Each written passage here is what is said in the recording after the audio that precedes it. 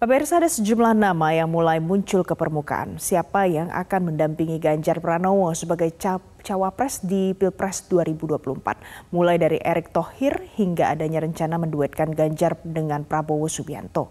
Menanggapi hal ini, Wakil Ketua Umum P3 Arso Sani menanggapi peluang sejumlah nama tersebut yang diwacanakan sebagai pendamping Ganjar. Partai yang mendeklarasikan Ganjar sebagai capres ini mengatakan keputusan itu akan diumumkan Ketua Umum PDI Perjuangan Megawati Soekarno Putri.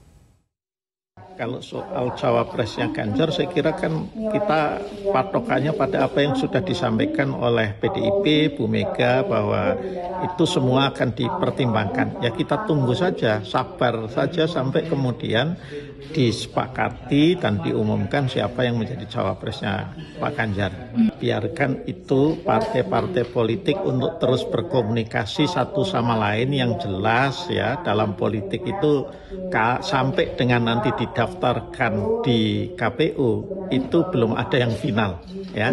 Artinya belum bisa disebut sebagai final ya.